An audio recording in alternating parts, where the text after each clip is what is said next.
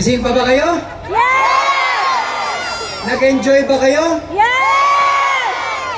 Siyempre, unang-una, magpapasalamat muna tayo sa Bagong Pilipinas Servicio Fair. Andiyan po ang ating Presidente Bongbong Marcos at Speaker Martin Romualdez. Gusto niyo po ba maulit to? Kaya po ako nandito, may ibabalita ako sa inyong good news. Dahil sa sobrang dami ng tao, umuwi na muna si Bamboo. Nahiya. Kayong mga kabataan ang kinabukasan ng ating probinsya.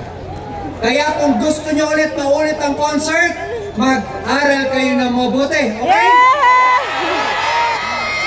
Yung grades nyo, Cellphone mo. ilagay nyo sa Facebook page ko, i-send nyo yung grade nyo. Pag mataas, mag-concert ulit tayo.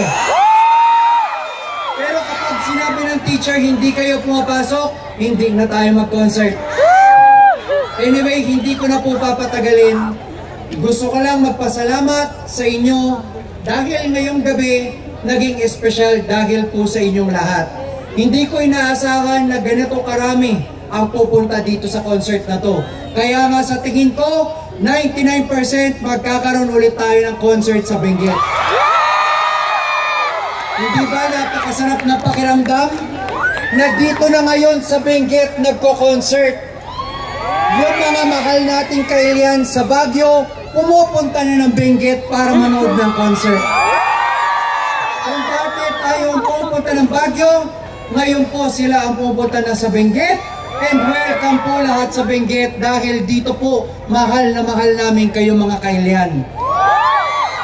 Hindi ko napapatagalin, baka umalis nga talaga si Bamboo. Again, last message ko po sa inyo, mahal na mahal ko po kayong lahat. At habang nandito ako, I will make sure, I will make Benguet a better place, a happy place, upang sa ganon, mas umasenso pa po ang ating probinsya. Sala salamat po at mahal na mahal ko kayong lahat.